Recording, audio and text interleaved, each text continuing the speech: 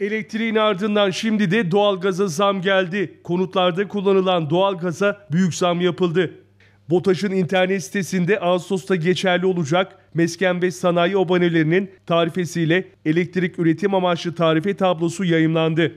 Buna göre 1 Ağustos itibariyle konutlarda kullanılan doğalgazın toptan satış fiyatı %38 arttı. Yıllık doğalgaz tüketimi 300 bin metreküp ve altında olan serbest tüketicilerin elektrik üretimi haricinde kullandıkları doğalgazın satış fiyatı ise %33,1 arttı. Sanayi abonelerinin tarifesi kademe 1 için 1000 metreküp doğalgazda 8549 lira, kademe 2 için ise 11.380 lira olarak belirlendi.